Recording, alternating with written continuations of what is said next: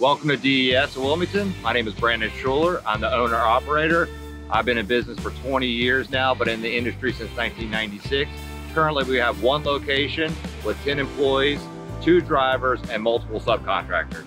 Currently, I'm located in front of the building with customer parking off to the side. We've also got our employee parking back in the corner and two spots right here to showcase our larger builds. We also have an overflow lot in the back that's secure with video surveillance inside and outside the entire perimeter. This is our sales floor where we greet all of our customers and go over all the options and diligently help them with all their needs. And now I'll show you the rest of the building. Behind me is the front counter where after we go over everything in the showroom, we write up their estimate and go over all the options. Now let me show you the waiting room. This is our waiting room where the customer can hang out while we work on their ride. We also provide water, coffee, and snacks.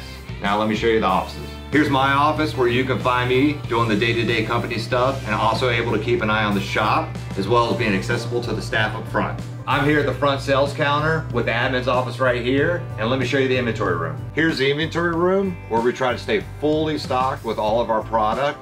Now, let me show you the most important part of the building, the shop. Now we're located in the shop where we have five bays, one big enough to fit a fire truck, obviously.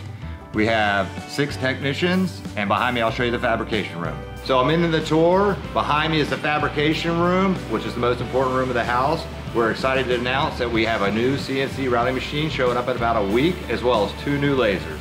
When we got started, our business philosophy was car dealers and making sure that we were the number one car dealer accessorizer in town. Since COVID hit, most of the inventory went away, so we transitioned more into retail. That has allowed us to grow our custom fabrication business into what it is today. The biggest challenges that we've had in the past year has been trying to upgrade the shop and add the fabrication room with this economic downturn. What makes our business unique is our expertise, our experience, and our customer service. When customers come to us, they expect the best. And with our experience and our knowledge, they know they're gonna get a quality build.